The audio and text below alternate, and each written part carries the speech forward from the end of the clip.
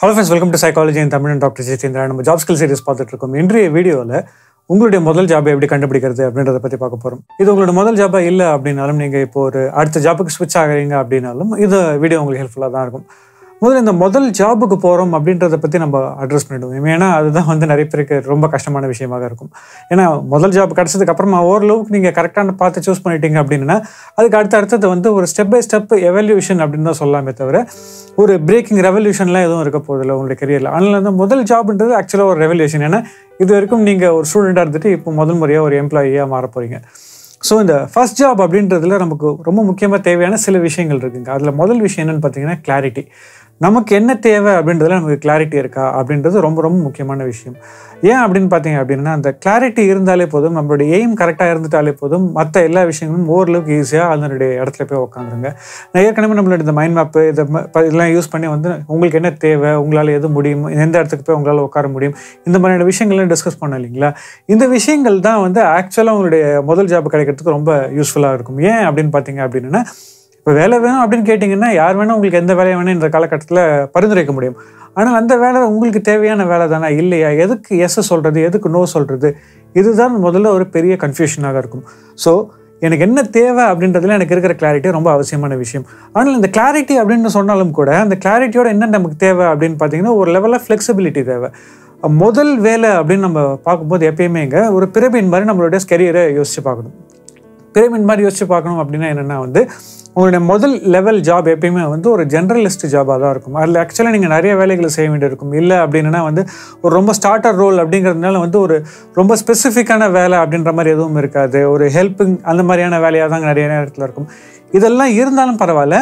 கரெக்டான ஒரு விஷயத்தில் போய் உட்காடுறோமா இப்போ நீங்கள் ஒரு ஹெச்ஆர் டிபார்ட்மெண்ட்டில் இருக்கணும்னு ஆசைப்பட்றீங்க அப்படின்னு வச்சுக்கோமே அந்த ஹெச்ஆர் டிபார்ட்மெண்ட் அப்படின்ற இடத்துலையாவது நீங்கள் போய் உட்காரணும் இல்லையா? மக்கள் மக்கள் சார்ந்த விஷயங்களையாவது நீங்கள் போய் உட்காரணும் இல்லைங்களா?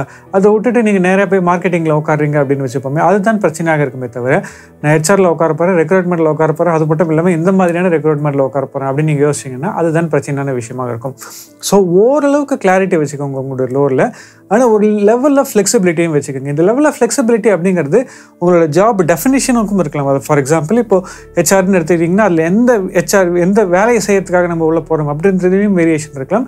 இல்லை எந்த கம்பெனிக்கு வேலைக்கு போகிறோம் அப்படின்றதுலையும் வேரியேஷன் இருக்கலாம். ஏன் சொல்கிறேன் அப்படின்னு பார்த்தீங்கன்னா சில நேரங்களில் நமக்கு சில கம்பெனியில் ஒர்க் பண்ணோம் அப்படின்றது ஆசையாக இருக்கும். ஸோ அந்த இடத்துல ரோல் கொஞ்சம் டிஃப்ரெண்ட்டாக இருந்தாலும் பரவாயில்ல. எனக்கு அந்த கம்பெனியில் ஒர்க் பண்ணிட்டேன் அப்படின்னா எனக்கு ஒரு பிராண்டிங் கிடச்சிரும். இல்லை எனக்கு ஒரு கரெக்டான எக்ஸ்போஷர் கிடச்சிரும்.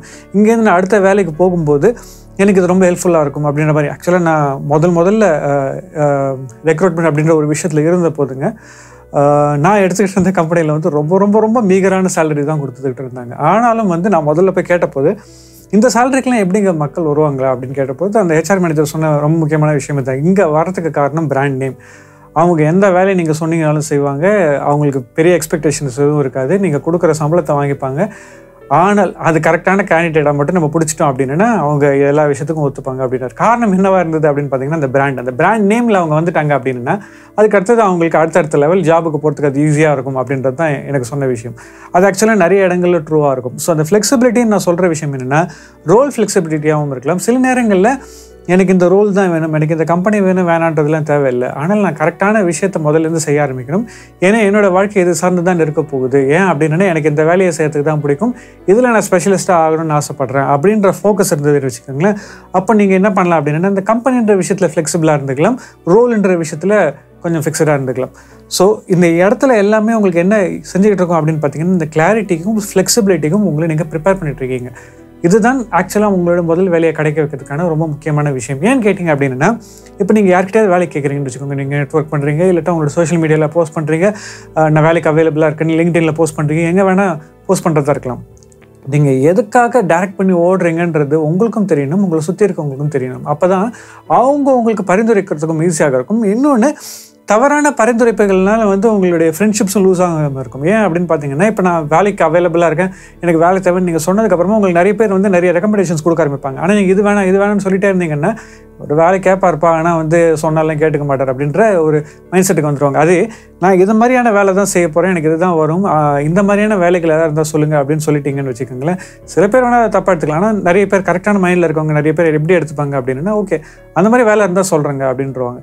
ஆனால் அதுலேயும் நான் சொன்ன முதல் விஷயமான ரொம்ப ஸ்ட்ரிக்டாக எனக்கு இப்படி தான் வேணும் எனக்கு இந்த சம்பளத்தில் வேணும் இந்த இந்த கம்பெனியில் வேணும் அப்படிலாம் கேட்காம இந்த மாதிரியான துறையில் நான் வேலை செய்யறதுக்கு ஆசைப்படுறேன்னு கேட்டிங்கன்னா அது ஒரு பெரிய வலையாக இருக்கும். ஏன்னா அந்த பெரிய வலைன்றது ரொம்ப ரொம்ப முக்கியமான விஷயம் இந்த முதல் வேலை கிடைக்கிறதுக்கு. உங்களுடைய இதுக்கு அடுத்த விஷயம் என்ன அப்படின்னு பார்த்தீங்க அப்படின்னா வந்து நிறைய பேர் வந்து மனம் உடஞ்சு போகிறதுக்கான ஒரு முக்கியமான காரணம் முதல் வேலையில் என்ன அப்படின்னு பார்த்தீங்க அப்படின்னா இன்டர்வியூக்கே கூப்பிட மாட்டுறாங்க அப்படியே கூப்பிட்டாலும் வந்து நிறைய இன்டர்வியூ போயிட்டேன் ஃபெயில் ஆகிட்டேன் போனாலே பதட்டம் ஆகிடுது அப்படின்ற மாதிரியான ஒரு விஷயம் இருக்கும். நீங்கள் புரிஞ்சிக்க வேண்டிய முக்கியமான விஷயம் என்ன அப்படின்னு பார்த்தீங்கன்னா இந்த ஜாப் சர்ச்ன்றதுங்க முந்தைய காலத்தில் எப்படி இருந்ததுன்னு எனக்கு தெரியாது. இன்றைய காலகட்டத்தில் இது வெறும் பியோர் நம்பர்ஸ் கேமுங்க இத்தனை வாட்டி போனீங்கன்னா இங்கேருந்து ஏதாவது ஒருத்தர் உங்களை கண்டிப்பாக எடுத்துருவாங்க அப்படின்றது நிறைய இடத்துல நடக்கிற ஒரு ரொம்ப உண்மையான விஷயம். அதுவும் இல்லாமல் இன்றைக்கி இந்த ஓப்பனை தேடுற மென்டாலிட்டி இருந்ததுனாலே போதும் நிறைய இடங்கள்ல உங்களுக்கு வேலை கிடைக்கிறது ஈஸியான விஷயமாகத்தான் இருக்குது ஸோ அந்த ஓப்பன் மைண்ட் செட்டோட ஒரு வாட்டி தோத்துட்டோனாலும் பரவாயில்ல. நெக்ஸ்ட் டைம் போகும்போதும் அந்த ஃபுல் கிளாரிட்டியோடவும் ஃபுல் கான்ஃபிடென்ஸோடவும் போக வேண்டியது தான் அவசியமான விஷயமாக இருக்குது ஸோ இதை ஒரு பிளெயின் நம்பர்ஸ் கேமாக எடுத்துக்கோங்க. உங்களோட வலையை பெருசாக வச்சுக்கோங்க. அட் த சேம் டைம் ஓரளவுக்கு ஃப்ளெக்சிபிளாக வச்சுக்கோங்க. ஆனால் நீங்கள் எங்கே போகிறீங்க அப்படின்றத தெரிஞ்சு போங்க. அதுக்கேற்ற மாதிரி உங்களை நீங்கள் யார்கிட்டலாம் வேலை கேட்குறீங்களோ அதெல்லாம் அவங்க கிட்ட கேட்கும் பொழுதும் வந்து ஓரளவுக்கு ஸ்பெசிஃபிக்காக சொல்லுங்கள் அதை தாண்டி கொஞ்சம் ஜென்ரலாஸ்டாக இருந்தால் பரவாயில்லைங்க. இது ஓரளவுக்கு இப்படி இருந்தால் நல்லா இருக்குன்றதை சொல்லிவிடுங்க அடுத்தது அந்த மாதிரியான இடத்துக்கு போகும்போது இன்டர்வியூக்கு போகும்போதோ இல்லை உங்களை நீங்கள் அப்ளை பண்ணிகிட்டே இருக்கீங்க யாரும் கால் ஃபார் பண்ணலன்னு போது நீங்கள் என்ன யோசிக்கணும் அப்படின்னா இது ஒரு பிளெயின் நம்பர்ஸ் கேம் இத்தனை வாட்டி அப்ளை பண்ணால் எங்கேயாவது ஒரு வாட்டி கிடச்சிரும் அப்படின்ட்டு. ஏன் அப்படின்னு பார்த்தீங்கன்னா ரொம்ப முக்கியமான விஷயங்க. இது உங்களோட முதல் ஜாபாக இருந்தாலும் சரி உங்களுடைய அடுத்த லெவல் ஜாபாக இருந்தாலும் சரி.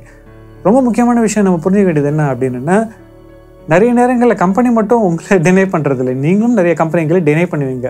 இன்னொன்று கம்பெனி உங்களை டினை பண்ணுறதுக்கான காரணம் நீங்கள் சரியானவராக இல்லை அப்படின்றதுனால மட்டும் காரணமாக இருக்காது.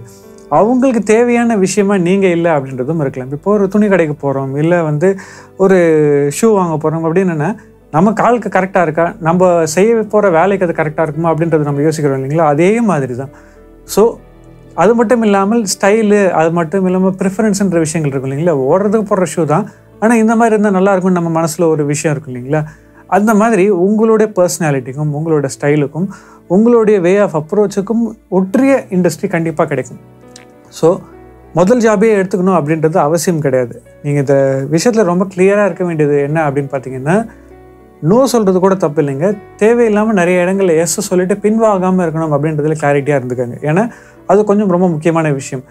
ஏன்னு பார்த்தீங்கன்னா இந்த வேலை மட்டும் இல்லை உங்களுக்கு ஃப்யூச்சரில் இருக்க போய் எல்லா வேலைகளுமே மோஸ்ட் ஆஃப் த டைம் ஒரு நெட்ஒர்க்கிங் அப்படின்ற ஒரு இடத்துல இருந்து தான் வரப்போகுது அப்படிங்கிறதுனால நம்மளோட ஃப்ரெண்ட்ஸு ஃப்ரெண்ட்ஷிப்பையும் நம்மளுடைய நெட்ஒர்க்கிங்கில் இருக்கிற சர்க்கிளில் இருக்க பீப்புளையும் வந்து அவங்களுடைய எஃபர்ட்ஸை வந்து நம்ம க- குறைச்சி வச்சிடற மாதிரியோ இல்லாட்டா அவங்களுடைய எஃபர்ட்ஸை நம்ம வேஸ்ட் பண்ணிடுற மாதிரியான விஷயங்களையும் நம்ம செய்யாமல் இருக்க வேண்டியது அவசியமான விஷயம். அதுக்கு எது துணையாக இருக்கும் அப்படின்னு பார்த்தீங்கன்னா ஒரு விஷயத்தை டினே பண்ணுறது கூட தப்பு இல்லை ஏன்னா அது நமக்கு சரியில்லைன்றதுனால. ஆனால் ஒரு இடத்த ஒரு வேலையை எடுத்துக்கிறேன் அதுக்கப்புறமா திருப்பியும் விட்டுறேன் அப்புறமா திருப்பி எடுத்துக்கிறேன் திருப்பியும் விட்டுறேன்ற மாதிரி செஞ்சுக்கிட்டே இருந்தீங்க அப்படின்னா அவங்களுடைய இமேஜ் கொஞ்சம் கெடுது இல்லைங்களா?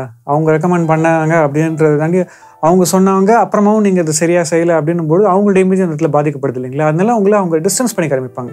ஸோ நான் என்ன சொல்லுவேன் அப்படின்னா கொஞ்சம் கிளியராக இருந்துக்கங்க. எஸ் நோ சொல்கிறதுல நல்லா யோசிச்சு சொல்லலாம் தப்பு இல்லை ஆனால் நிறைய எஸ் சொல்லிட்டு அதுக்கப்புறமா பின் வாங்காமல் இருந்தீங்கன்னா நல்லாயிருக்கும் ரைட் இதுக்கப்புறமா ஃபியூச்சர் வீடியோவில் நம்ம இன்டர்வியூ எப்படி அட்டன் பண்ணுறது சேலரி நெகோசியேஷன்ஸ் அந்த மாதிரியான விஷயங்களையும் பேசுவோம். ஸோ அந்த மாதிரியான விஷயங்களையும் நீங்கள் கருத்தில் கொண்டு இந்த முதல் ஜாப்பில் போகலாமா வேணாமா அப்படின்றத முடிவு செய்யலாம் ரைட் ஸோ இந்த வீடியோ உங்களுக்கு யூஸ்ஃபுல்லாக இருந்திருக்குன்னு நினைக்கிறேன். அப்படி யூஸ்ஃபுல்லாக இருந்தால் லைக் பண்ணுங்கள் இது யாருக்கு யூஸ்ஃபுல்லாக இருக்குமோ உங்களுக்கு ஷேர் பண்ணுங்கள் சைக்காலஜி நமக்கு சப்ஸ்கிரைப் பண்ணுங்கள் தேங்க்ஸ் ஃபார் வாட்சிங் this video and have a great time